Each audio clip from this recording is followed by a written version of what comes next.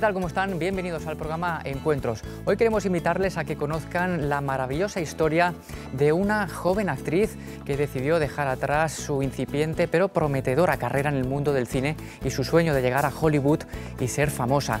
Decidió dejar atrás todo ello, renunciar a ello al conocer la fe cristiana, al conocer a Jesucristo.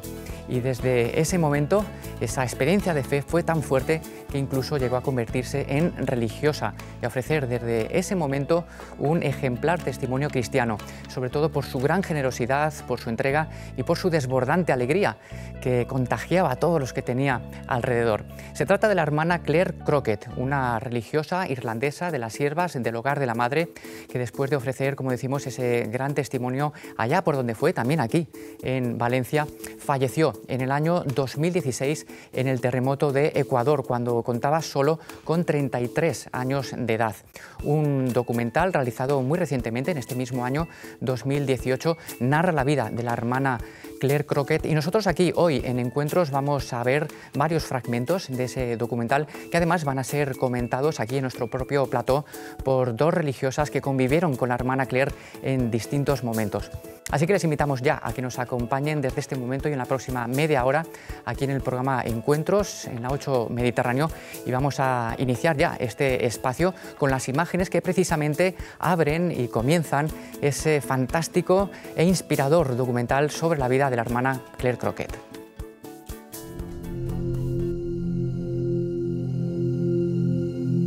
A las 3 de la mañana sonó el teléfono era, era, la comunidad de Guayaquil contándonos que había habido un terremoto muy fuerte, que les habían llamado de Playa Prieta, que el edificio del colegio se había derrumbado con las hermanas dentro. Lo que primero me vino a la cabeza es, tengo que despertar a todas las hermanas para ponernos a rezar. Al día siguiente, primero llegó una noticia de que ya estaban todas fuera. Pero luego ya en otra siguiente llamada dijeron que no, no eran todas las hermanas, eran tres hermanas y dos chicas. Faltaban cinco chicas y la van a creer.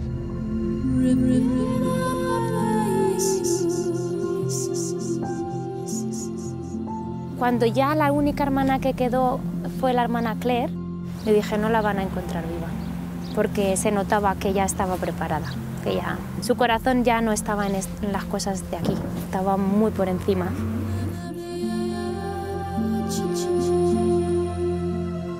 Te vienen los recuerdos de, de cuando vino, de, de, su evolución dentro de la comunidad, de, del noviciado, de el paso por las comunidades. O sea, son un montón de recuerdos los que te vienen. Desde que yo conocí a la hermana Claire, él, siempre me impresionó la claridad con la que ella oía la voz de Dios y también la prontitud y la docilidad con la que ella respondía.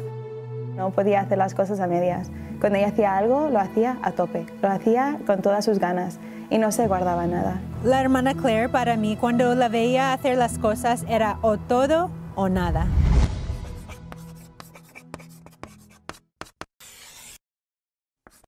Bien, pues así es como comienza ese documental sobre la vida de la hermana Claire, un documental realizado por las propias siervas del hogar de la madre. En los próximos minutos, como decimos al principio, vamos a ir viendo fragmentos y los vamos a ir comentando con dos personas que conocieron a la hermana Claire eh, en vida y que coincidieron con ella en distintos momentos. Tenemos aquí en nuestro plató a la hermana Inmaculada y a la hermana María. Muy buenos días y bienvenidas a, a, las Hola, dos. Buenas. Muy buenos días. Bueno, hemos visto que el título del documental es O todo o nada que parece que es como un auténtico lema ¿no? para, para sí, la vida. La de, misma hermana de Claire alguna veces firmaba así.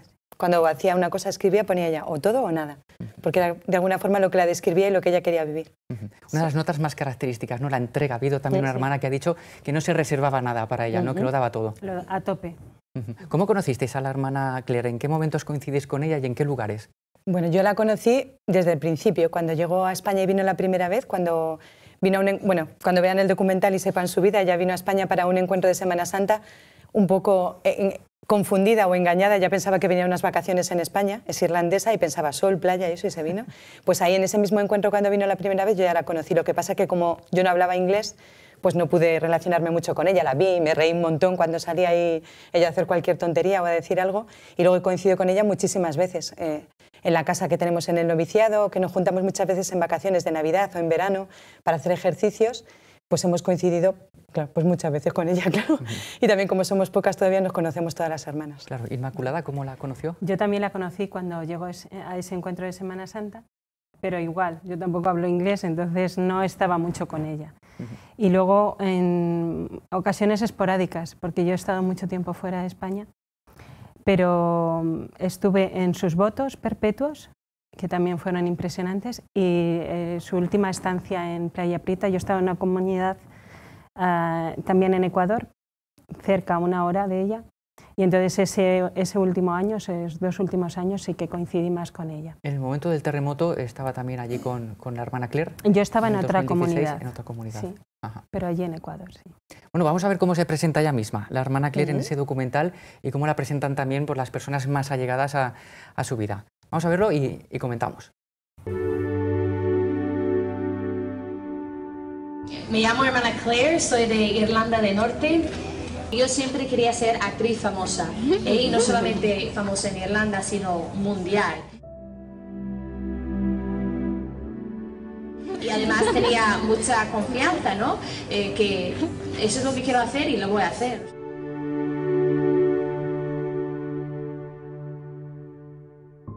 Claire, Claire fue siempre muy teatrera, desde el mismo día y hora en que nació.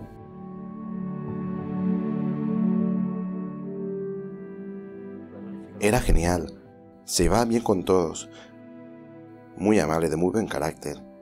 Siempre había gente a su alrededor, siempre.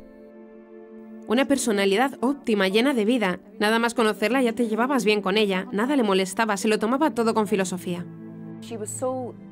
Era muy viva, jovial, siempre de buen humor. En clase se hacía notar. Su presencia absorbía toda la clase, todos se divertían con ella, a todos les encantaba estar con ella. A la edad de 15 años, obtuvo de la nada un puesto de presentadora en un programa para jóvenes del Channel 4. Actualmente es más similar a un club privado. Frecuentemente los hijos de famosos llegan a ser actores y cantantes, alimentándose de las rentas que dejan los que les precedieron y les abrieron el camino.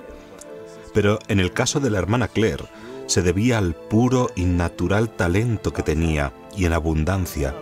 No solo actuaba, cantaba y hacía comedia, lo hacía todo. ¿Y cómo es que dejó todo eso?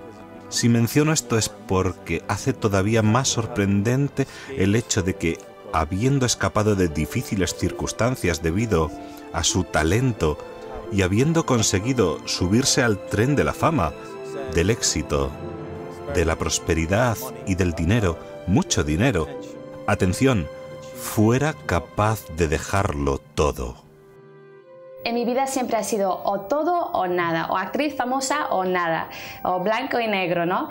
Y, y también se puede decir que he buscado el amor en sitios donde no lo he encontrado. He tenido novios, he tenido muchas amigas, amigos, eh, mucho éxito en el campo del teatro, de, he hecho una película, eh, presentadora y todo esto, ¿no? Pero yo sentí que, que no me llenaba. Bueno, llama la atención, ¿no? Que una persona como la hermana Claire, que no ha participado en la vida de la iglesia, que está muy involucrada en una actividad como el cine, donde además destacaba, ¿no? Tenía, apuntaba maneras, ¿no? Podemos decir, ¿cómo se produce esa, esa conversión tan, tan radical en ella? Bueno, por temperamento, por lo que está, ella misma expresa ahí, expresa su familia y la gente que la conoció, es verdad que era capaz de levantarse sobre unas circunstancias el lugar de donde ella era, Irlanda del Norte, es un sitio donde había mucho terrorismo, en la parte en la que ella estaba. Y sin embargo, por ese talento que tenía, pues como que se levantaba por encima de eso. ¿no? Entonces yo creo que el Señor vio la profundidad de ese corazón en medio de que estaba metida de todo eso y la tocó. Ella se convirtió en este encuentro de Semana Santa que vino, vino pasando de todo, ella se tumbaba a tomar el sol, pasaba, o sea, ni, acudía a las actividades, estaba a su bola la pobre porque se había metido ahí y decía, ¿qué hago yo aquí si yo quería ir a la playa? pero alguien le dijo que el Viernes Santo era un día muy importante y que tenía que estar en los oficios de Semana Santa. Entonces ella entró y como vio que todo el mundo se ponía la cola para besar la cruz, ella se puso a, la cola para besar la cruz y fue en ese momento cuando besó la cruz. El Señor la tocó el corazón. Vamos a ver precisamente imágenes de, ese momento porque en el documental también la recoge, ¿no? En el momento en el que en ese Viernes Santo ella besa la, mm. cruz, un encuentro en el que creo que estáis eh, vosotras dos también, ¿verdad? Vamos a verlo en imágenes.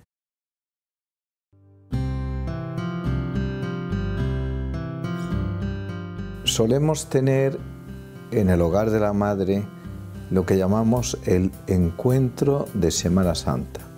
Nos reuníamos aquel año en Priego, España, y venía un grupito también de chicas jóvenes de Irlanda, entre las cuales venía Claire Crockett, una chica muy vivaracha, muy vital y muy segura de sí misma. Bulliciosa, muy bullanguera, le gustaba hacer reír, pero no le gustaba nada pensar.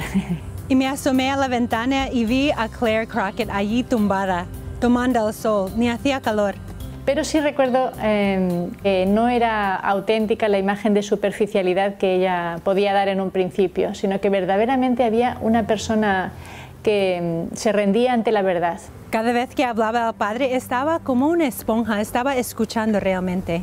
Y Viernes Santo, era Viernes Santo y alguien me decía, hoy Claire tienes que entrar en la iglesia, o sea, hoy esto es muy fuerte y no sé qué. Entonces yo entré en la iglesia y estaba sentada en los bancos de, detrás y eh, en plan súper, o sea, paso de todo, ¿no? Y yo veía como la gente se ponían en filas para ir a, besar una cruz que tenían ahí delante. Entonces eh, yo también me he puesto ahí en la fila con las manos en el bolsillo. Yo no estaba pensando en la pasión del Señor ni nada, estaba pensando a qué hora acaba esto para yo poder ir comer. O sea, y me acuerdo cuando me tocaba a mí besar la cruz y yo sentí dentro de mí en este momento como una bofetada muy fuerte dentro de mí. Y como que Dios me mostraba que, que era Dios en la cruz y que era la única manera que yo podía consolar lo que yo estaba viendo en la cruz era, era con mi vida. Eh, ya no valía hacer chistes ni hacer un teatro bonito para consolarle, nada. O sea, nada de lo que yo podía hacer eh, podía consolarle solo dándole mi vida. Y yo no entendía lo que estaba pasando porque yo no tenía experiencias, o sea, de Dios. Era puedo decir, la primera experiencia fuerte que he tenido y me acuerdo volviendo al banco y empecé a llorar y llorar y llorar. Y yo, claro, tenía reputación de chula, entonces estar ahí llorando, digo, madre mía, me van a ver, pero no podía parar. Me acerqué a ella y le pregunté, ¿qué tal Claire? Y me miraba y me repetía, él me ama y murió por mí. Y le pregunté, ¿pero estás bien? Y lo seguía repitiendo. Y ya le pregunté si quería hablar con el padre Rafael y ella me dijo que sí. Pasamos a la, a la sacristía y allí entonces yo le pregunté y ella enseguida dijo que quería ser monja. Le dije, pero para ser una monja como estas tendrás que volver aquí. Pues, pues yo vuelvo. Pero tenía un problema, porque ella quería ser famosa también y dijo que podía ser monja famosa. Luego contó esto otra vez delante de todo el mundo. Today we were talking about uh, vocations and I was thinking, oh my god, I've got a vocation, that I want to become famous. An hour ago, I was all, I want to become a nun too. So then I said to myself, I'll, I'll become a famous nun. So I don't know what to do with myself now. I could become really famous and be really rich. Or I could come here and I'm praying to God that I make the right decision. Gracias.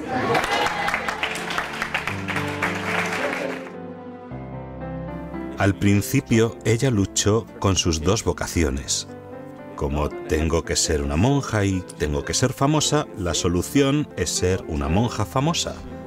Pero cuando ya llevaba tiempo en este camino, la fama se iba haciendo cada vez menos importante y se eclipsó por su vocación a amar, vivir y proclamar la verdad.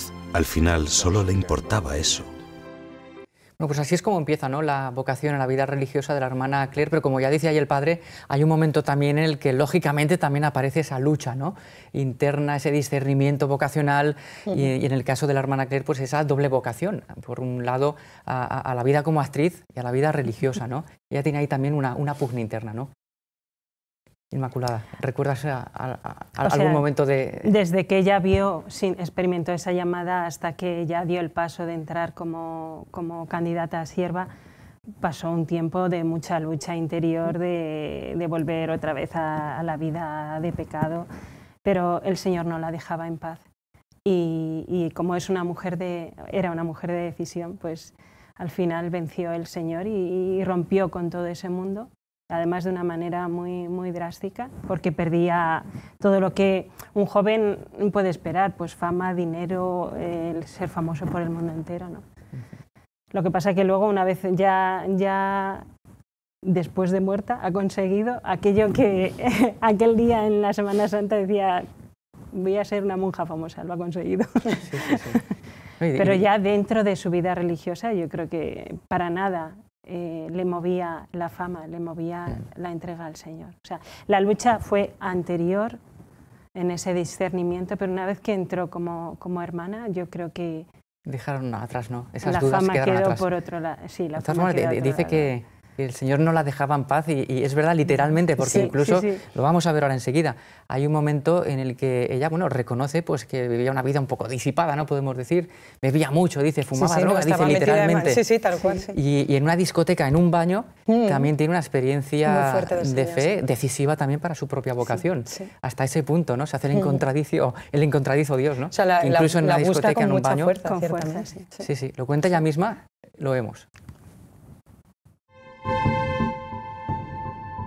Fui a Irlanda otra vez, bebía mal, bebía en pecado mortal, bebía mucho, fumaba mucho, empezó fumando drogas, seguía ahí con mis amigas, mi novio y tal, no seguía igual porque yo digo que no puedo cortar con todo ese.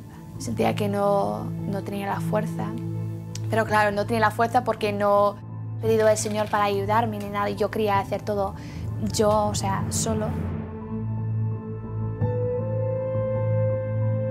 Y en este año recibí dos gracias muy grandes que me hizo reaccionar.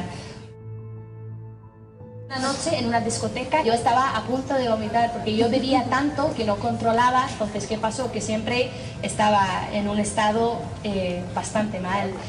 Y una noche ahí en el baño de, de una discoteca yo sentí fuertemente la mirada del Señor eh, y dentro de mí yo oía el Señor que decía, ¿por qué me sigues heriendo?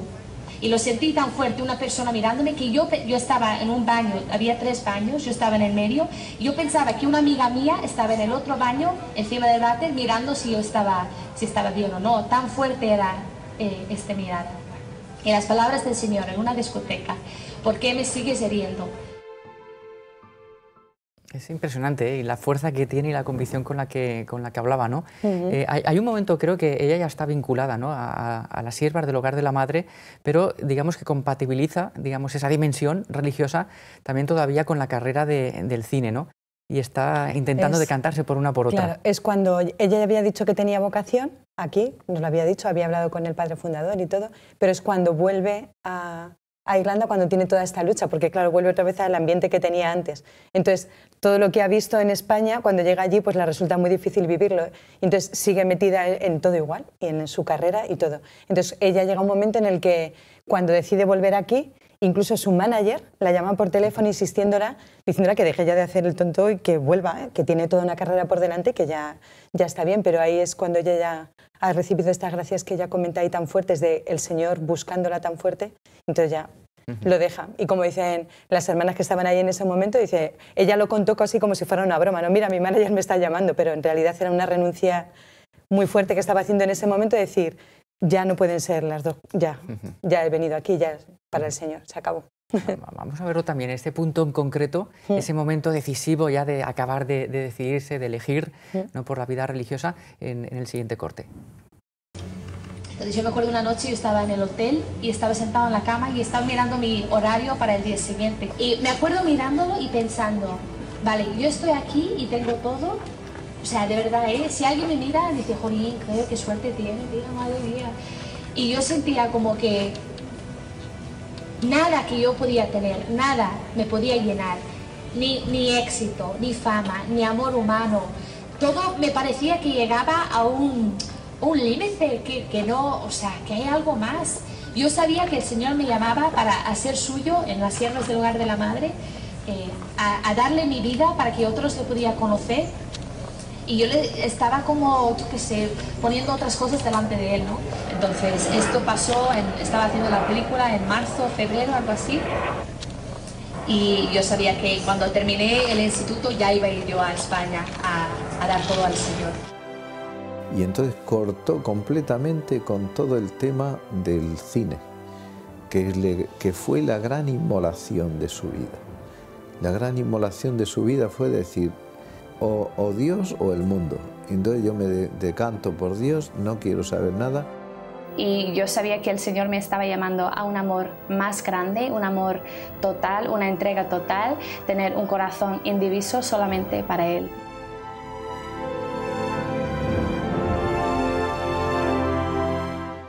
Así que al final acaba profesando en las siervas del hogar de la madre y ahí se produce, pues lógicamente también un crecimiento, ¿no? digamos, en virtudes como, como religiosa. Llama la atención muchas virtudes en la, en la hermana Claire.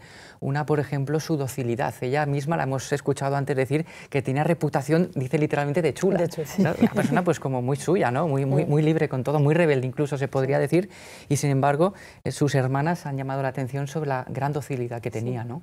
Sí, sí, sobre todo, o sea, la hermana Reme, la maestra de novicias, que como que es la persona que más nos conoce desde el principio, claro, cómo vamos cambiando, cómo mm, vamos formándonos en las virtudes propias de la vida religiosa. Y se la fue viendo un cambio grande a lo largo de, los distintos años, claro. Ya no era ella la que mandaba y organizaba a todo el mundo como podía hacer en su casa o en o en la escuela con sus compañeros de clase, sino que ella se rendía a la voluntad de Dios, porque eso lo tenía muy claro. Ella había ido al convento a, cumplir la voluntad de Dios. porque como se empeñó en, ya se había entregado al Señor, pues ahora a lo que me he entregado de cabeza, entonces tengo que aprender, pues escucho y hago lo que me dicen para aprender. Hemos hablado también de la generosidad. Yo creo que este, este corte no, no, va a salir porque hemos tenido que, lógicamente, sintetizar mucho. Es un documental de aproximadamente hora y media, más o menos, y, bueno, pues hemos intentado hacer un, resumen. Pero recuerdo que hay un momento en el que mm, dicen que una hermana que ha convivido durante todo un año con ella mm. y la ha ido viendo cómo hace distintos servicios de muy distinto tipo.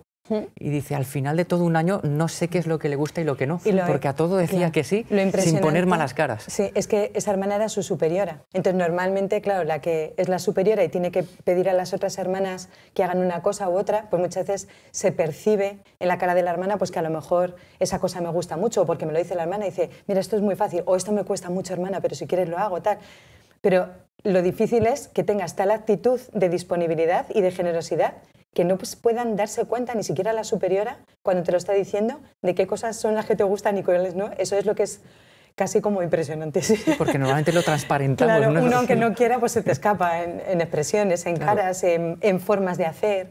Pues eso, porque no siempre estás con el fuego puesto a todo fuego, a todo gas, vamos, digamos. Pero ella hasta tal punto lo estaba viviendo que eso, que su misma superiora dice es que yo no puedo saber qué cosas le costaban y qué cosas no, qué cosas... Y eso, las que somos monjas sabemos que no es tan fácil. creo que para nadie, creo que es fácil.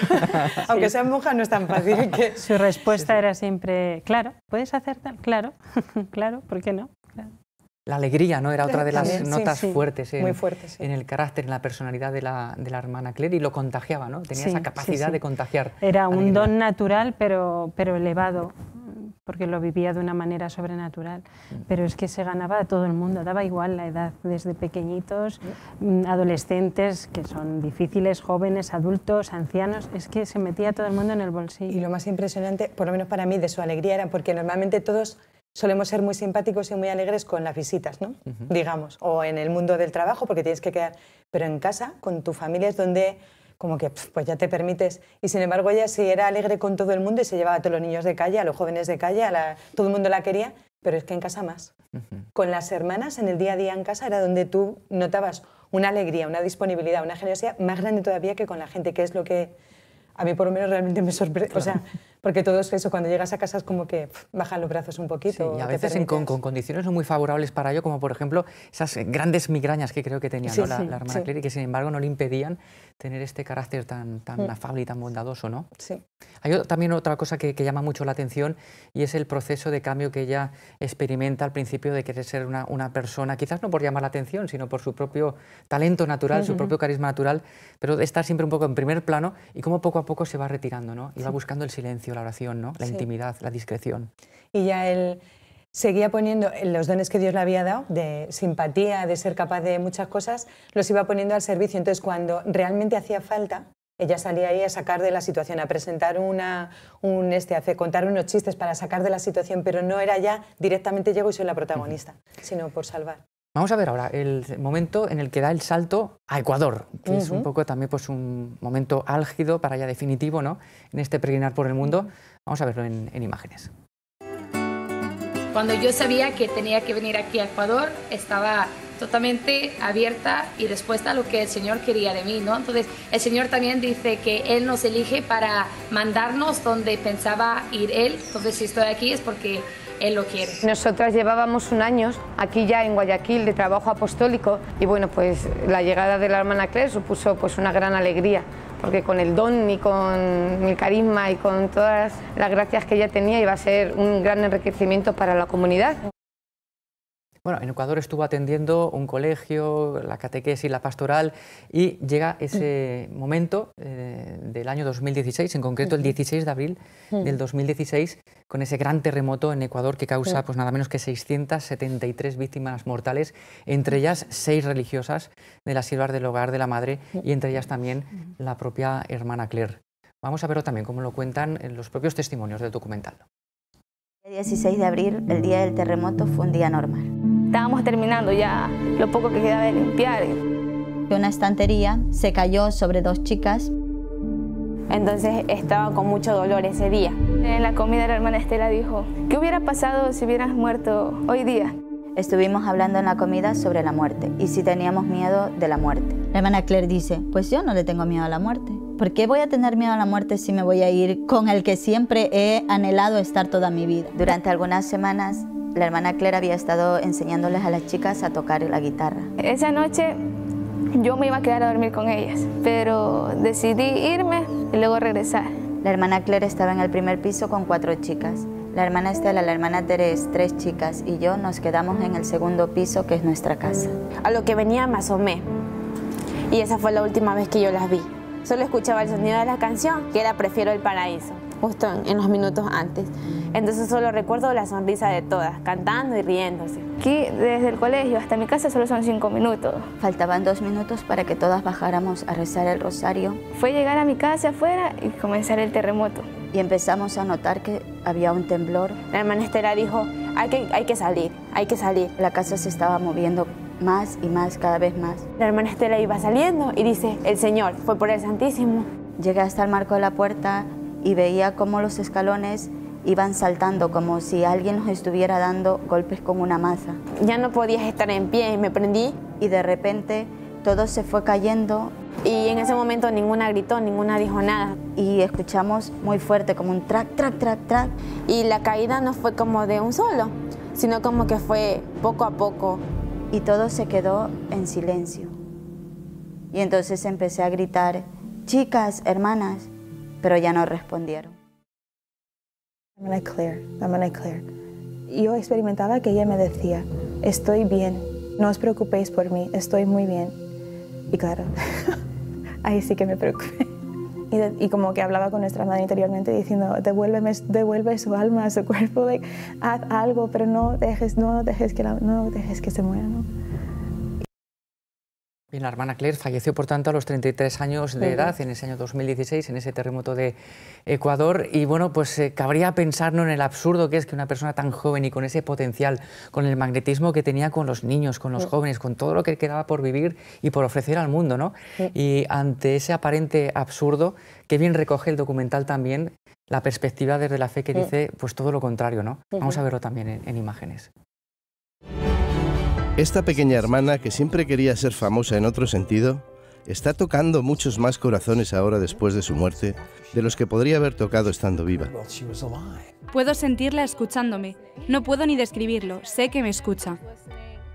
La vida es muy corta y como ella la vivió, así es como tenemos que vivirla, encendidos en amor a Cristo.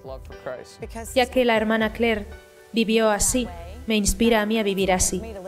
Nos vienen constantemente aquí manifestaciones de, gente que de que han conocido la vida de hermana Claire se han hecho amigas suyas y que la tienen como, como protectora de, de su vida y de su familia. Decidimos llamar a nuestra niña Claire María por la hermana Claire. La muerte de la hermana Claire es una semilla plantada en la tierra que solo acaba de empezar a verse para lo que estamos llamados es para ir al cielo. Entonces el hecho de que haya hermanas que ya hayan recorrido ese camino y que por la misericordia de Dios esperamos que esté en el cielo, pues para mí es una gran alegría. Yo le dije a las hermanas, tenemos que estar contentas porque ahora hemos fundado en el cielo, tenemos una comunidad en el cielo.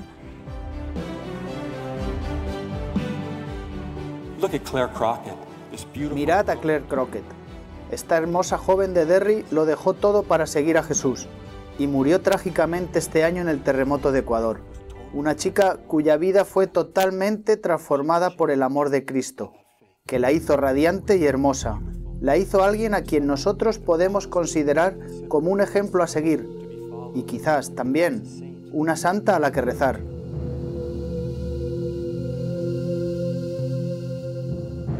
Es una cosa que el Señor me ha enseñado, de que el que pierde su vida y el que se olvida de sí misma y el que muere a sí misma es feliz. O sea, y esta es la verdad, esta es la verdad.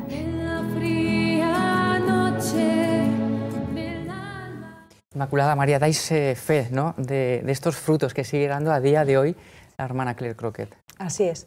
Tanto, bueno, el colegio donde ella estaba, lo que se derrumbó, donde murió, es para nosotros es casi como una parábola de, lo, de, lo que da, de cómo da fruto la muerte, ¿no? porque aparentemente era un desastre y sin embargo produjo un movimiento de generosidad tan grande en la gente que si veis ahora el colegio, eso es una preciosidad, cómo se ha reconstruido tan bonito. Entonces es como tú te entregas aparentemente es un desastre, pero eso da un fruto, lo veamos o no lo veamos. ¿no? La vida de la hermana Claire o la de cada uno de nosotros, pues es verdad. Bueno, pues invitamos a todos los espectadores a que vean el documental íntegro, porque es una maravilla. está colgado, publicado en, en, YouTube desde hace unas semanas, tiene un montón de visitas, está arrasando, porque verdaderamente es que merece la pena. Pues hermana María y hermana Inmaculada, muchísimas gracias por haber estado Nada. aquí con nosotros, por haber compartido el documental y también vuestro propio testimonio del conocimiento de la, de la hermana Claire. Hasta una nueva ocasión. Gracias. Muchas gracias. Bueno, y a todos ustedes les empezamos ya hasta la semana que viene con más noticias, con más testimonios de la Iglesia, principalmente aquí en la Diócesis de Valencia. Hasta la semana que viene. Sean felices. Adiós.